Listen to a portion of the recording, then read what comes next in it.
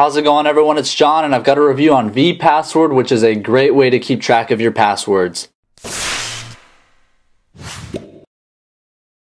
I'm going to get going on vPassword and you can see that the first thing you're prompted with is your PIN. So here we go, 2580 right down the middle. And uh, that's great that you have a password on this application because you don't want anybody that gets a, a, hold of your iPhone to be able to just open up the application and get all your password information and account numbers and such. So we got your categories that you start with. You've got web, social, email, just to name a few. And you can have all your passwords here. And I'm going to go into social where I've got Twitter. I don't have my real information here. I do have my username if anyone anyone wants to follow me. One of the things that I think that this app can improve on is to have the text a little bit bigger, maybe improve on the interface a bit, but it does the job, and that is to store your password so that you uh, can see here it's got username and, and uh, password.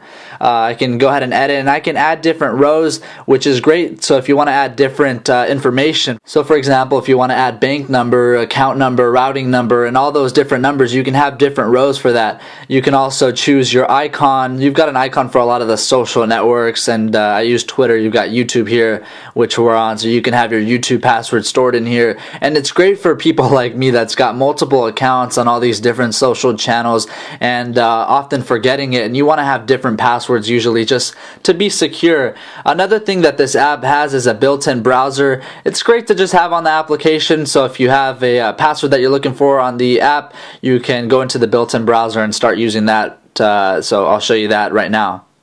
So just staying on the whole Twitter theme, I'll go to twitter.com.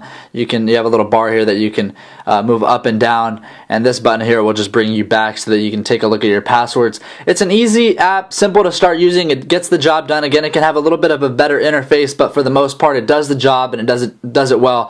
I recommend everyone check out vPassword. If you enjoyed this video, please hit that like button down below, as well as subscribing so you're notified of my future videos. All right, I'll catch you later. See ya.